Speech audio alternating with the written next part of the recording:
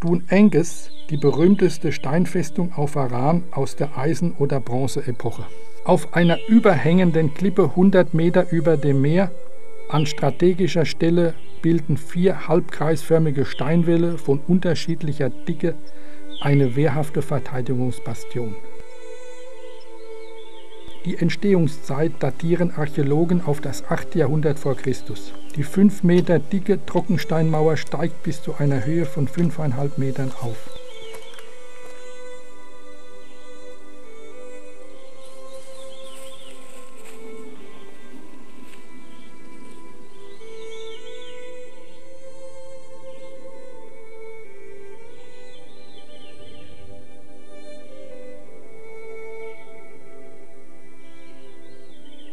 Durch die grandiose Fernsicht konnten Feinde frühzeitig erkannt werden.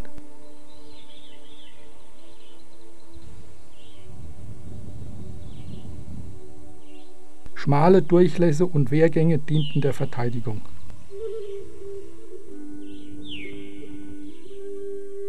Der Zweck dieser Steinplattform im innersten Bereich des Duns, direkt am Klippenrand gelegen, ist nicht bekannt.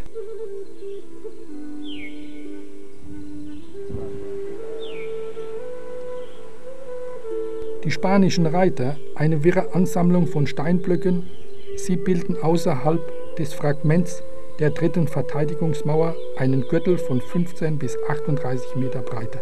Die chaotische Anordnung der Steinblöcke sollte verhindern, dass die Angreifer die Festung erreichen konnten.